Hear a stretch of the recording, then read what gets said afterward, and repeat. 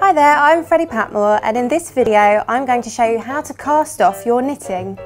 To start casting off, knit the first two stitches and use your left hand needle to lift the first stitch over the second and off the tip of the right hand needle. That's one stitch cast off. To do the next one, knit the next stitch so that there are now two stitches on your right hand needle and repeat the process to cast off the second.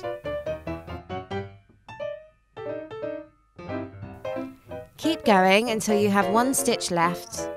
Loosen, cut your yarn and thread the end through the loop. Pull tight to fasten off.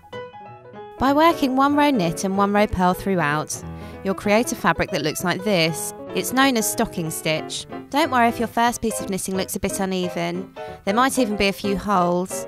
You'll quickly improve with practice and repetition.